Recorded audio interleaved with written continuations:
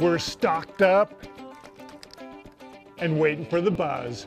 I'm Mickey Anderson from Fish Tech with this week's cicada fishing report. Everybody knows about cicada fishing on the green, but they come off just about everywhere in the state. Watch for them anywhere. You'll hear that loud buzz.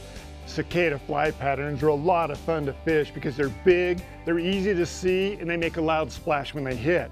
They're a big enough pattern that they're going to draw a large fish up off the bottom. They're also big enough to work as a strike indicator. Hang a large fly underneath of it. This time of year, put a, a big golden stone or a green drake nymph. Now they're not hatching yet, but they're getting in position to hatch. As they crawl towards the shoreline and towards the shallows, getting ready, they lose their footing, they tumble around, and a lot of them are in the column, kind of midway, and that makes a great fly to hang under your cicada. Hey, if you're waiting for the buzz like I am, come on down and grab a few flies while we've got such a good assortment. For these cicada tips and a whole lot more, come on down to Fish Tech, we'll help you out. Now for tonight's fishing line.